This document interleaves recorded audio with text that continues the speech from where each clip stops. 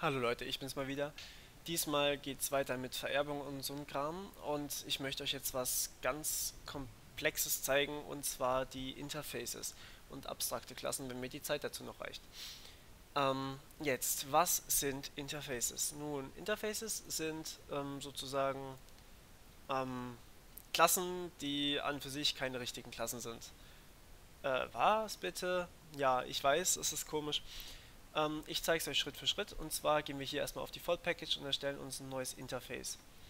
So, und das nennen wir jetzt Lebewesen. Lebewesen. Auch eine Idee. So, jetzt habe ich hier ein Public Interface ähm, Lebewesen. So, und jetzt kann ich das benutzen, indem ich zum Beispiel sage, okay, jedes Lebewesen, ähm, was tut jedes Lebewesen? Es ähm, im Public Void atme. So. Und jetzt ganz komisch, warum, das ist doch eine Methode. Nun, warum tue ich hier keine geschweiften Klammern auf und zumachen und fülle da irgendwas rein? In einem Interface habt ihr keine Variablen und ihr habt nur Methoden, die nichts tun. Das heißt, ein Interface tut an für sich gar nichts. Es gibt euch nur eine Schnittstelle vor. Denn mein Tier und zum Beispiel mein Fisch, der jetzt nicht unbedingt atmet, aber belassen wir es dabei. Ähm, wenn ich jetzt hier noch einen Fisch erstelle, auch wenn Fische Tiere sind, ähm, dann braucht der Fisch, ich kann es ja gerade mal machen, neue Klasse, Fisch, so, und mein Tier, Implements, Lebewesen, so. Und jetzt habe ich hier gesagt, okay, jedes Tier ist ein Lebewesen. Gut, das heißt aber auch für das Tier, dass es jede Methode haben muss, die das Lebewesen auch hat. Das heißt, ich muss hier meine nicht implementierten Methoden auch implementieren. Implementieren heißt so viel wie einfach Text reinschreiben. Oder halt Anweisungen reinschreiben. So, das heißt, ich muss meinem äh, Tier jetzt sagen, was es zu tun hat, sobald es die Methode Atmen aufruft. Ähm, und zwar, es soll einfach sysout schnauf. So, die Methode kann ich jetzt natürlich in meinem Hund, wie wir in dem letzten Video schon gelernt haben, ähm, natürlich einfach überschreiben. sysout, äh, public void atme da können natürlich auch Parameter reinkommen etc. und es muss nicht unbedingt eine Void sein. Ah, Void habe ich euch vielleicht noch gar nicht erklärt. Ähm, Voids ist einfach nichts. Da kommt einfach nichts zurück, das heißt man braucht kein Return drin. Das ist aber, ja, eigentlich relativ leicht zu verstehen. Vor allem, wenn man ein bisschen Englisch kann. Dann ähm, macht der Hund nicht unbedingt Schnauf, sondern Hechel. So. Und jetzt kann ich natürlich hier wieder mein ähm, ein Hello World aufrufen, auch wenn es kein Hello World mehr ist. Und kann sagen, mein Tier soll gefälligst atmen. Achso, ja, natürlich, das ist ja kein String, das habe ich ja ganz anders gemacht. Ähm, t.atme. So. Ähm, das hier ist unser Wow gewesen. So, unser Hund hechelt also. Das ist auch wieder eine Methode, die ich hier überschrieben habe. Wenn ich jetzt hier nicht wüsste, dass es ein Hund ist, sondern einfach nur, dass es ein Tier ist, dann müsste ich vorsichtig sein, weil ich hier rumgecastet habe und es nicht rausgelöscht habe. Das ist dieser Fehler, vor dem ich euch gewarnt habe. Wenn ihr nicht sicher seid, was es ist, dann äh, es nicht. So, jetzt ist es einfach nur noch ein Tier und ein Tier schnauft einfach nur. So, ähm, aber unser Fisch, der wird jetzt wahrscheinlich nicht unbedingt schnaufen, der wird auch nicht hecheln, aber er ist trotzdem ein Lebewesen. Das heißt, wir müssen hier trotzdem implementieren. Implements Lebewesen. Und ich kriege wieder denselben Fehler, der mich darauf hinweist, ich soll gefälligst meinem Fisch die Funktion geben, dass er atmen kann. Gut, ähm, was soll ein Fisch machen, wenn er atmet? Nun ja, sagen wir, er blubbt vor sich hin. Blub.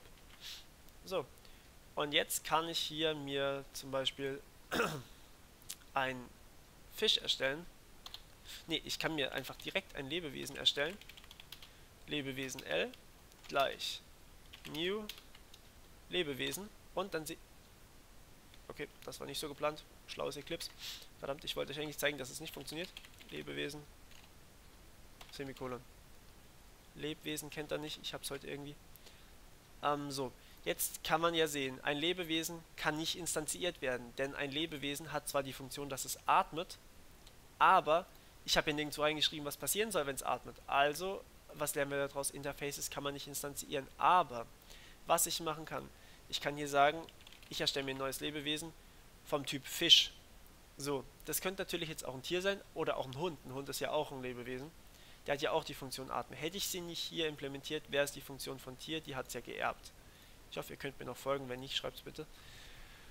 Ähm, so, jetzt erstelle ich mir hier ein Lebewesen L und dieses Lebewesen kann atmen.